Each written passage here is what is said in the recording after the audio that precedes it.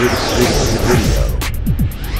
This is the Rope Masters Videocast, your source for the best in rope skipping instruction.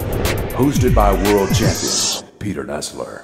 This episode, we are in Juneau, Alaska, which is my hometown and where I learned how to jump rope. And I was able to meet up with some old jumper friends of mine that were on the Juneau Jumpers with me for quite a few years uh, actually, which is the team I started on. So it's kind of fun to be able to meet up with some people that I used to jump with, and we're able to do some two wheel.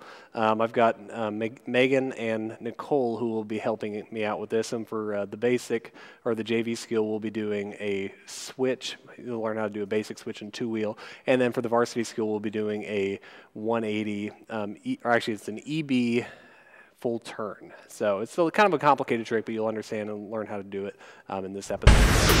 JV skill. For the JV skill today, we're going to be doing a two-wheel switch. Now, to do the switch, the basic thing we're going to be trying to do here is have both of us switch places. Now, uh, Megan is going to go in front of me for this switch. We can we can either go either direction, but I'm going to end up going behind and Megan's going to go in front. So to switch places, we'll just kind of walk through it so we know what we're going to do. She's going to step over her rope, actually bring it over her head just so we're in this position. We're going to count ready, set, go. When we say go, we'll switch places. She'll go in front. I'll go in back. And when I come over here, I'm going to be jumping over the rope first since I'm coming from behind.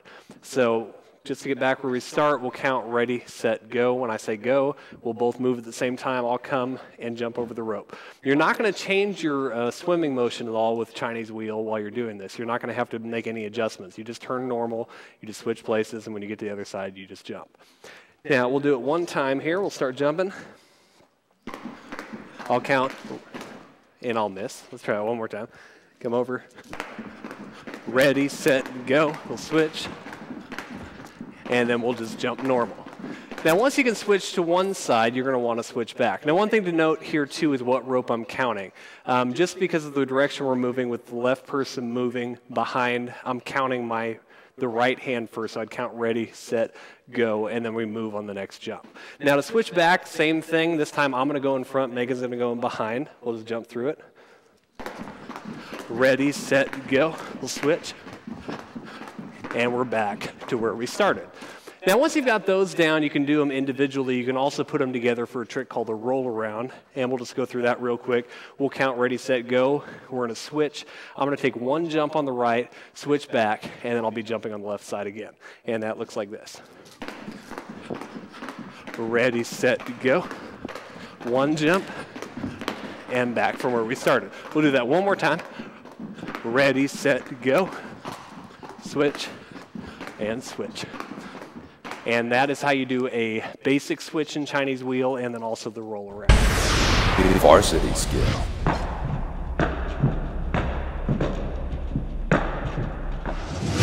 Varsity skill, we're going to be doing an EB full turn.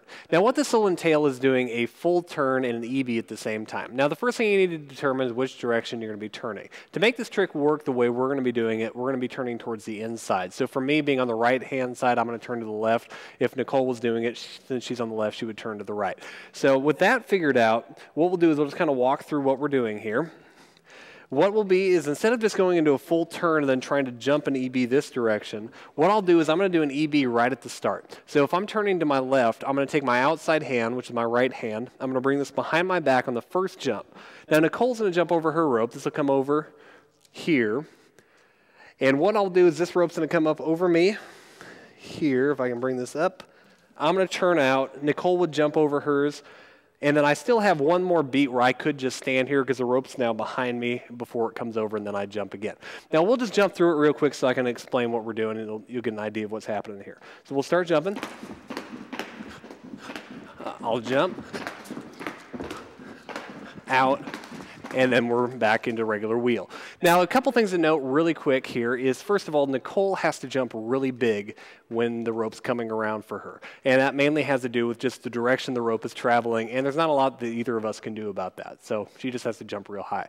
Now, me, I just have to make sure when I'm taking this first jump, I jump real big, get my feet up out of the way, and then on the turn here, when the rope comes up, I just turn around and then just bring it over and bring it out when I get back to the front. So there's not a whole lot involved besides just getting the first jump at the proper time. Now, if I turn and then try to bring it behind my back, you're going to find that the rope's just going to end up missing your feet completely, and you'll just be doing a regular full turn. So you want to avoid that. You want to make sure that you're taking this jump with this arm behind your back right at the start to make this work. So I'll show you it one more time. It'll come up. I'll jump and out. Now, Nicole will show you.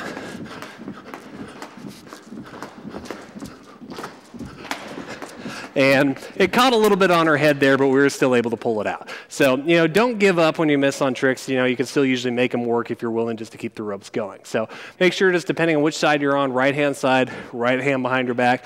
On Nicole's side, which is left hand side, she would just bring her left arm behind her back while returning. And that is how you do the um, EB full turn. For more information, check out www.jumprm.com.